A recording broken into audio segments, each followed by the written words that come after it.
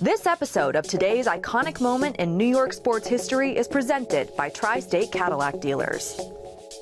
May 27, 1994.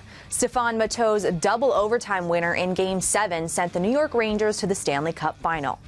In the 1994 Eastern Conference Final, the Rangers and the New Jersey Devils met for a best of seven series to determine who would play for the Stanley Cup.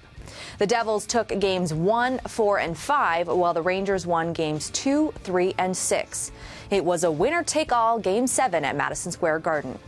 Brian Leetch got the Blue Shirts on the board in the second, and with just eight seconds left in regulation, the Devils tied it up at one.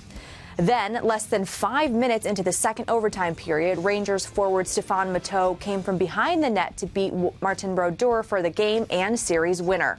That was actually Matteau's second double overtime winner of the series. He did it previously in Game 3. Matteau only scored 11 goals with the Rangers over 85 regular season games, but was truly the hero in that series. The Rangers would go on to defeat the Vancouver Canucks in seven games and win the title, ending the club's 54 year championship drought.